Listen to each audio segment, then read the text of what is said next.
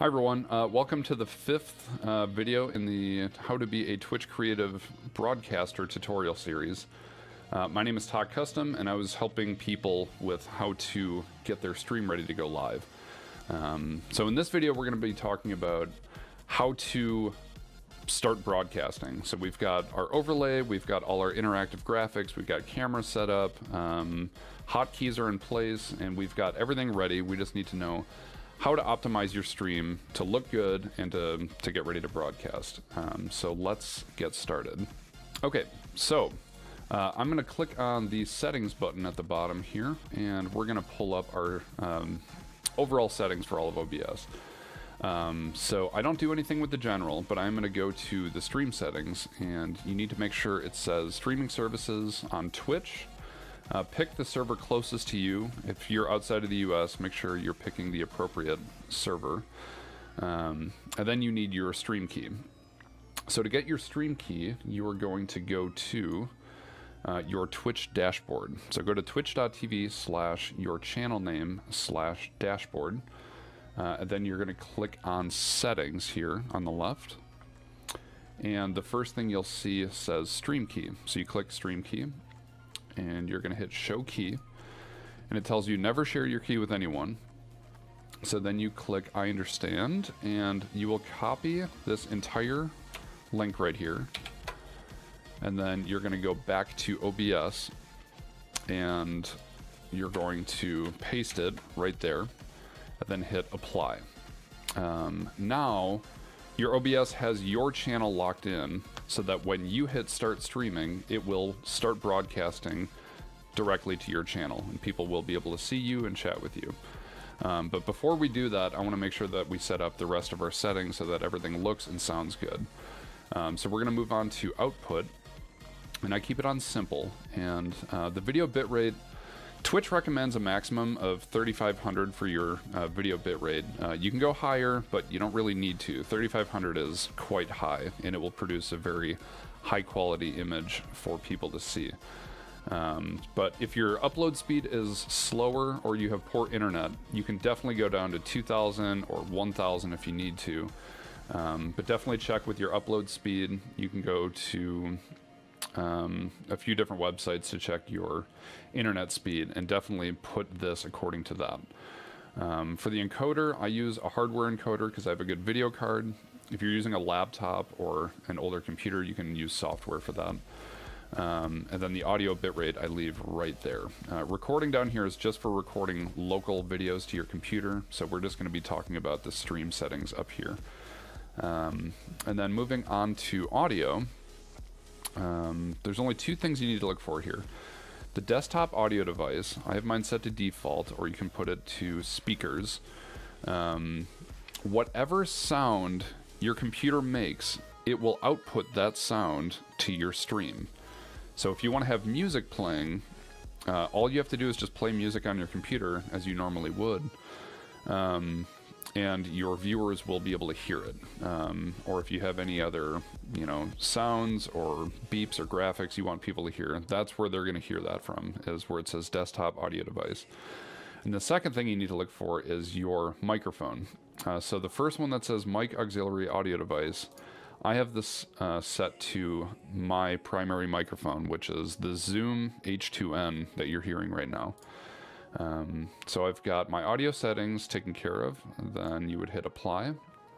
And then the last thing you need to do is just go to video. Um, so definitely always keep your base canvas resolution at 1920 by 1080, which is the standard widescreen 1080 resolution. Um, and the output is the scaled resolution. So this is what people see. Um, so if you have a good computer that can handle it, definitely keep it at the same resolution. But if you're noticing it lagging or things are kind of getting stuttery or you're dropping frames, you can drop this down to 1280 by 720 or even lower if you need to. But if you can handle it, definitely keep the highest resolution. Um, I don't modify the downscale filter. Um, I keep it at fastest because frame rate is important, and then I'd never go any higher than 30 frames per second. You only need to do more if you're doing some intense gaming or anything like that. Um, so that is all set. And then I just hit OK, make sure all the settings save. and you are right now ready to go live. Um, but before you do, uh, it's a good idea to update your stream title and make sure you've got uh, your Twitch chat ready. Um, so let's get our stream title changed and make sure we've got chat on screen. All right, so um, to update our stream title, I'm going to grab my Twitch dashboard right here, which was twitch.tv slash uh, your channel name slash dashboard. And uh, you're going to find on the left where it says stream information, you're going to want to update this to whatever you want the title to be. So say it's, you know, Funky Friday or something like that, and you're, you know, sewing like crazy. Um, and the go, go live notification is what people will see in their emails if they have uh, email notifications. So you can say, you know, I'm making a custom shirt or something like that. Um, so the next thing is your gamer category. Most people stream in creative or in IRL. I always stream in creative. And then you add your communities here. Um, so when you click update information, it's going to update your stream title so that when you go live, um, people will see the appropriate title. And after that, you just need to make sure that you've got uh, your on-screen chat so that you can see what people are saying. So if you go to your chat bar on the right side and click on the little gear, you're going to find the thing that says pop out. And I'm going to pop my chat out right here. And it's going to give me just a little rectangle where chat's going to show up. And I'm going to stretch this up and do control plus to make it a little bit bigger and then I'm going to move my OBS over just a little bit. So now I've got chat on the left and I can see OBS on the right.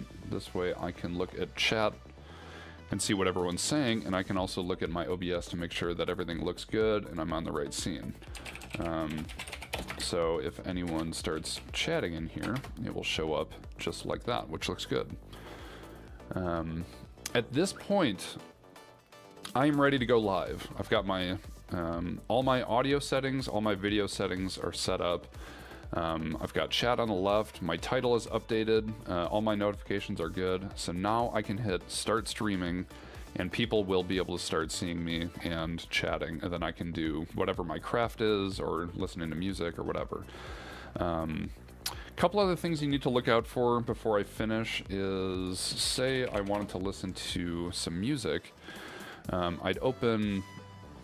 I use Spotify now on stream. Um, so here's my Spotify, and I would go to you know something that I would play. Um, now, if you use Spotify or Pandora or iTunes or whatever, uh, if you keep this at full volume, it's gonna blow everyone's ears out on stream. So I usually keep this about a third of the way up and then I keep my um, desktop audio at full volume. So definitely ask your viewers, is the music too loud? Is it too quiet? And then keep those settings the same. Or you can record a test recording by clicking start recording here. It'll save a local file so you can kind of do a little test and make sure everything looks and sounds good. And the last thing you need to know is if you uh, click on advanced audio properties here, um, you're going to see all these different sliders for all your different audio sources. And there's something that says sync offset. If people tell you that your mouth doesn't match up with the audio, this is what you need to look at. So you go to um, your microphone, and I usually have to sync my offset to about 40 milliseconds up, and it goes positive and negative. So if for whatever reason people say your audio isn't synced up with your video, this is where you change that. Um, but usually doing a lot of testing. It take it can take a while, but I found 40 milliseconds for this particular computer gives me good results. Um, so now, definitely make sure you're playing music before you start streaming, and then just hit start streaming, and people will start showing up in chat, and then you just do what you do. So enjoy showing off your craft and your artistic expression with the world. Uh, please let me know if you have any other questions or anything I can help you with. But thank all of you so much for all of your positive responses to all these videos. I will continue to make more videos. Um, the next one I'm going to do is on how to make uh, the panel, uh, the panels below your video feed. So if you want a donate button or a subscribe button or a link to your website or social media or your Discord server, um, we're going to show you how to make your own graphics using paint.net. Uh, to make those and how to upload those so people can see them. Um, so that's going to be the next video. Thank you guys so much for watching all these videos. I appreciate all of the positive responses, um, but I will see you guys on the next video. Thank you so much.